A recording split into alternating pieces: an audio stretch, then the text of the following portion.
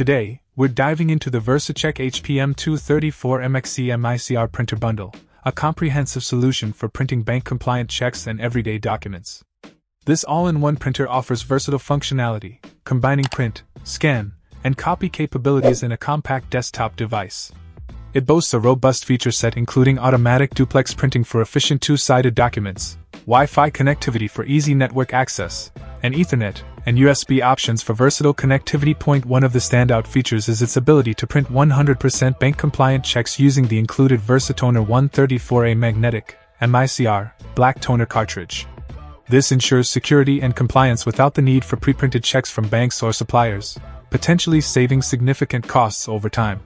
The print quality extends beyond checks to include photos, images, barcodes, and other security elements, making it suitable for a variety of document needs. In terms of performance, the M234 MXE impresses with print speeds up to 30 pages per minute, black, which is ideal for small to medium sized offices or businesses with moderate printing demands.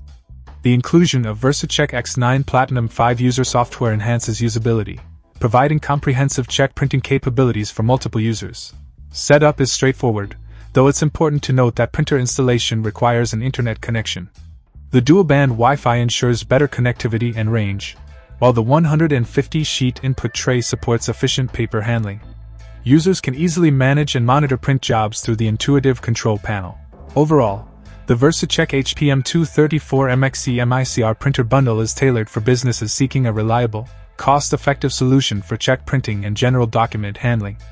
Whether you're looking to streamline check production or enhance office productivity, this bundle offers the tools needed to meet those demands efficiently and securely.